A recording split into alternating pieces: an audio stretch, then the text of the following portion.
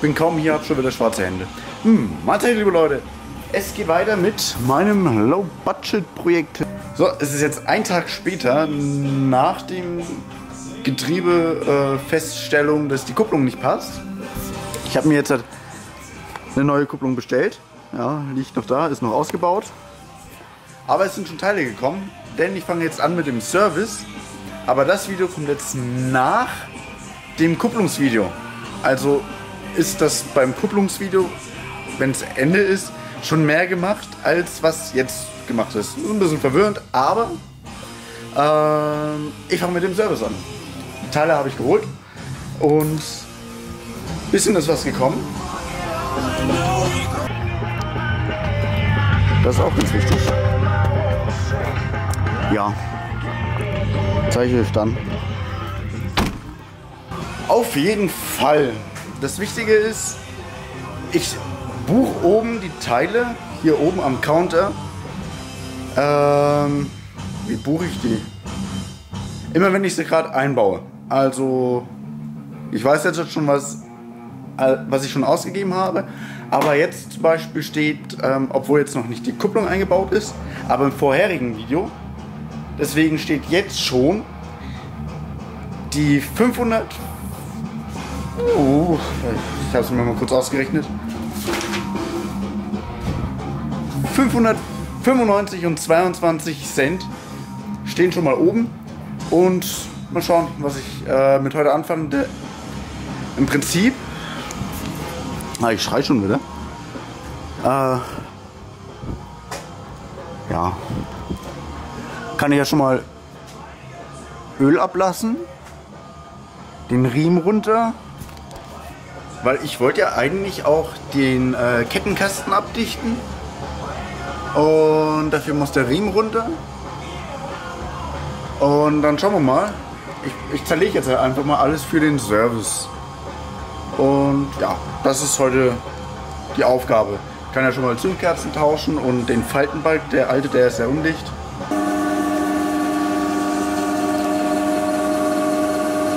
Ich habe jetzt mal die Teile alle aufgereiht und zum Glück habe ich gerade Urlaub.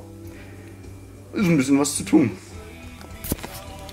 Der ganze Tisch voller Teile. Ähm, das hier ist Coupé, Coupé-Teile.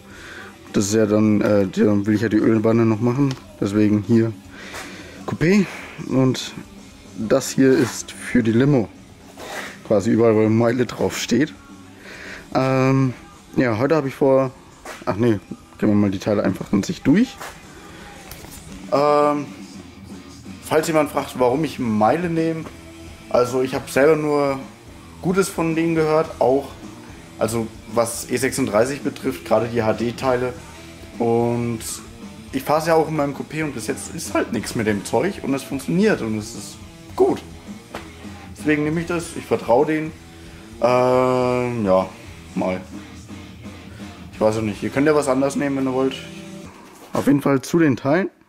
Hier sind die Zündkerzen, der Ölfilter, Faltenbalg, Kraftstofffilter, Domlager vorne hinten, Koppelstangen, Spurstangen, Koppelstangen hinten und Querlenkersatz. Ähm, Luftfilter und Keilriemen. Einfach, das ist dann einfach alles Neues. Gerade die Vorderachse ist, äh, gerade ja die Vorderachse ist ja bei den E36 extrem scheiße.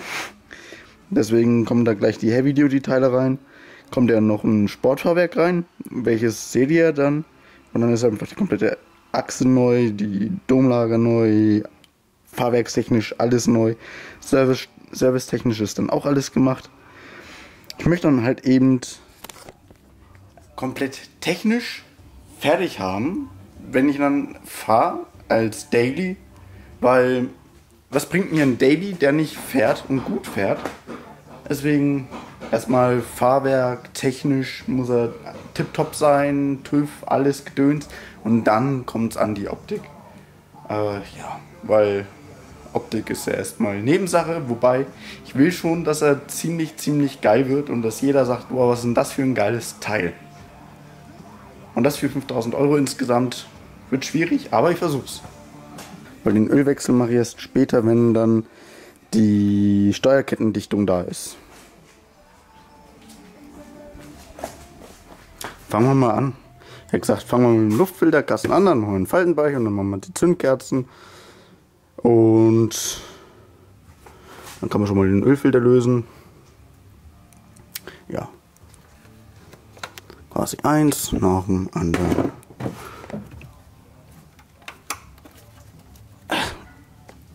Geh halt auf, Alter. Ui. So. Gut. Ah, da hinten ist noch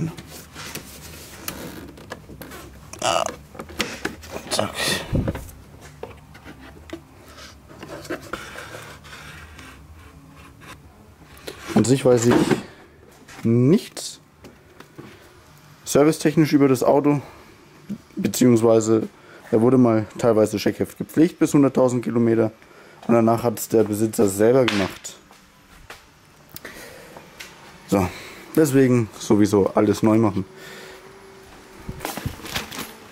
Reinkommt äh, bei mir ein K&N Luftfilter. Da ist er für 74,14 Euros.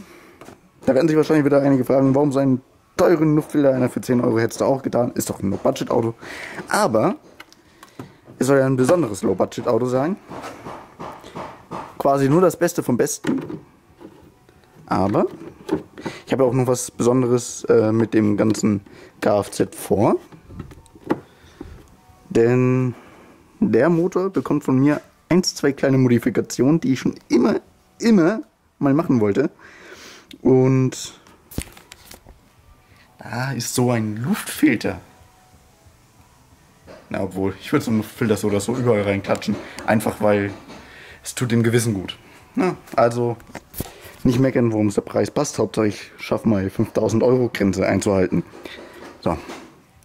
Für mich auf jeden Fall wichtig und bringt zwar nichts, aber es tut irgendwo im Gewissen gut. Ja. Wird vielleicht später was bringen. Sehen wir dann.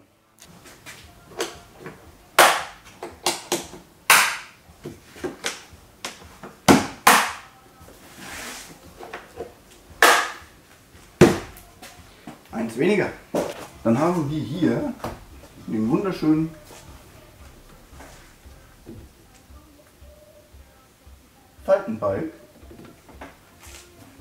auch nicht richtig angeschlossen ist.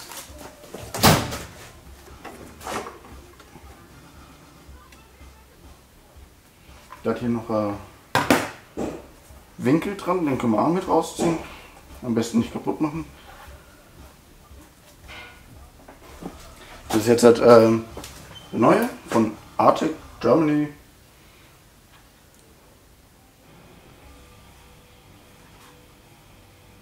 Keine Ahnung. Auf jeden Fall.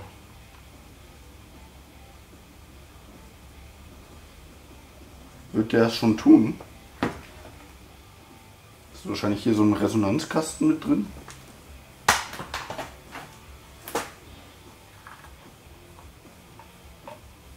Jetzt bauen wir gleich mal alles um.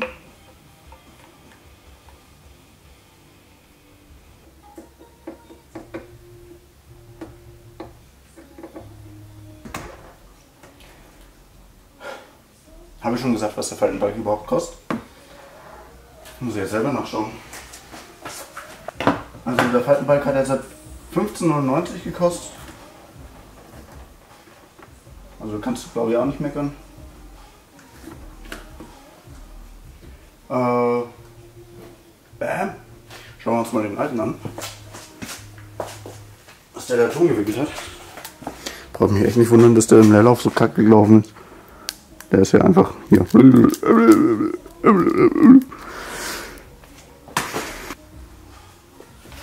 Ey, wenn der TÜV das Auto sieht, ne?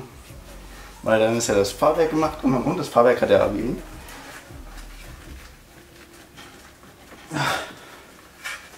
Ja, unten alles frisch, Motorraum alles frisch. Der wird sagen, der, der sieht das Auto so und dann sagt er, ey Alter, den TÜV schenke ich dir. Ich hoffe. Traumvorstellung. ist halt das Doofe bei den 8 Ventilern, dass die halt hier hinten drin sind. Und wahrscheinlich auch schon das letzte Mal.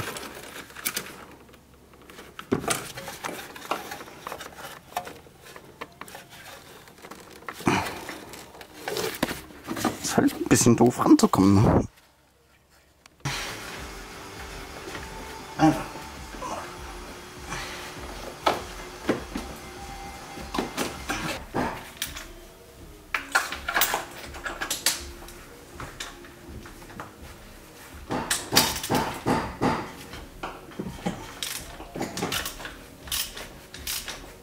Also man merkt auf jeden Fall, die Zündkerzen wurden nicht eingefettet beim Reinmachen. Da, da kann es dann problematisch werden. Äh, beim Rausmachen, weil wenn die so festgammeln, dann können die nämlich abbrechen und dann muss der Kopf ab.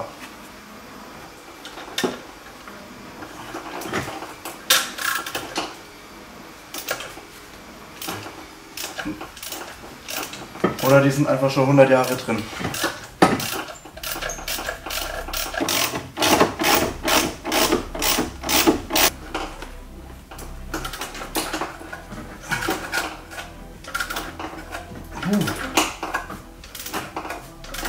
Steuerer fallen überall.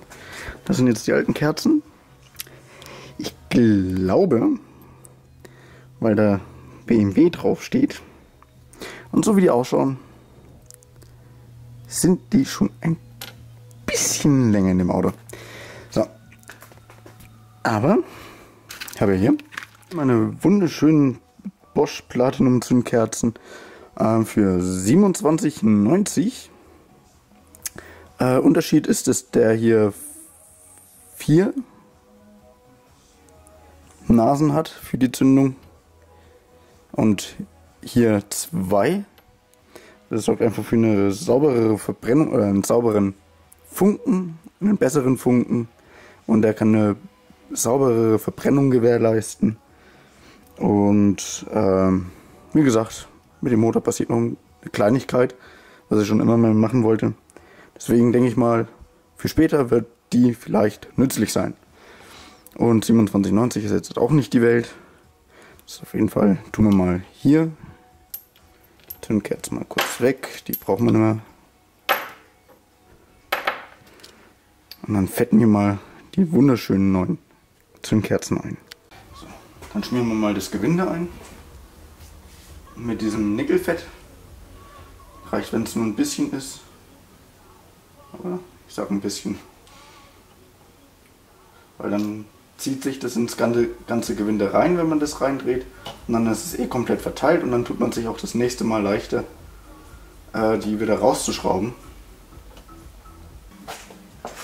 Wie gesagt, äh, wenn man nicht aufpasst, bei den Zündkerzen kann es sein, dass sie abbrechen und dann muss der Kopf abgebaut werden. Deswegen mit Gefühl mit der Hand festschrauben und dann später mit der Ratsche. Niemals mit äh, Luftratsche oder irgendwie sowas.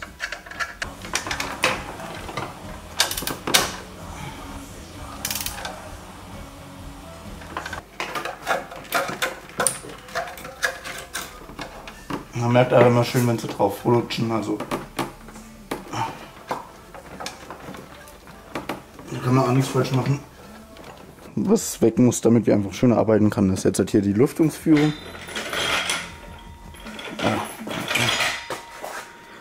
Und das sind im Prinzip, soweit du weißt, nur die zwei Clips und dann kann das ganze Plastik da weg, glaube ich.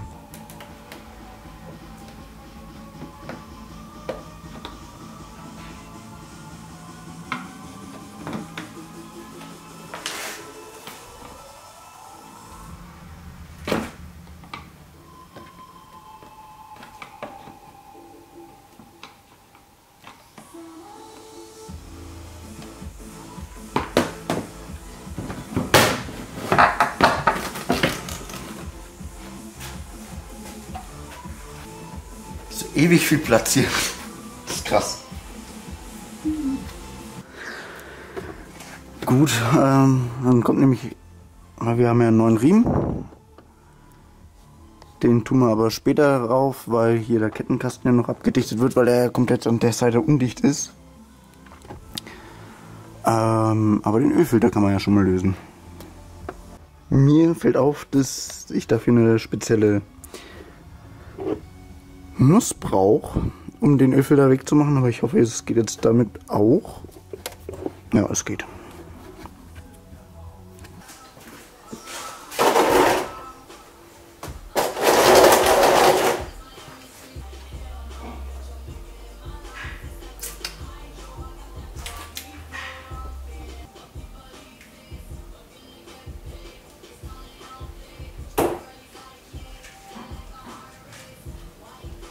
Ja. Dann haben wir hier drei Dichtungen an dem Ölfilter. Die untere. Und hier oben haben wir zwei. Kann man das sehen. Auf jeden Fall tauschen wir die dann auch aus.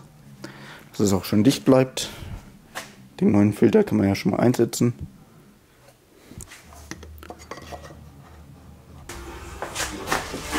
Was auch immer ganz wichtig ist, wenn man die neuen Dichtungen drauf hat, dass die auch vorher immer, bevor man es reindreht, eingeölt sind, dass man nochmal mit dem öligen Finger drüber geht.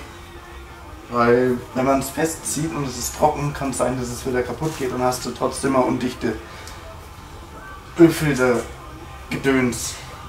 25 Newtonmeter steht sogar drauf. Das heißt, das für mich rausfinden, was 25 Newtonmeter sind. Aber ich habe das eh im Gefühl. Habe alles im Gefühl. Andere würden sagen, sowas machen Forscher, ja, aber mein Drehmoment ist hier, er braucht schon Technik und Höhen. Wenn man es hier hat, ja, da habe ich auch nichts. Im Prinzip, Ölfilter ist gewechselt, Luftfilter, Faltenbalg, Zündkerzen, Ölfilter. Schauen wir mal unter das Auto. Äh, Kraftstofffilter suchen wir natürlich auch. Der sitzt hier. Okay.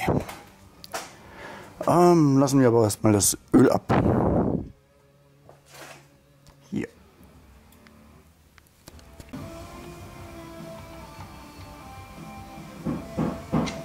So, während das hier austropft, machen wir mal den Kraftstofffilter. Das sind eigentlich nur die hier, die zwei Schräubler. Dann kann die Abdeckung runter.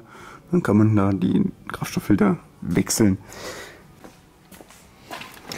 So, die Dinger haben eigentlich auch so wie die Zündkerzen Intervall von 60.000 Kilometer. Normalerweise hat ja ein Luftfilter auch ein Intervall von 60.000 Kilometer. Ähm, da der K&N ja eh ein wartungsfreier Luftfilter ist, kann man sich merken, Kraftstofffilter und Zündkerzen 60.000 Kilometer. Der hat jetzt hier von Meile ähm, 18,99 gekostet. Und ich denke mal, da macht man auch wieder nichts falsch. Habe ich zwar noch nie verbaut. Ich habe jetzt bis jetzt nur Fahrwerksteile von Mal verbaut, aber ich denke mal, schauen wir mal, wie das hier funktioniert.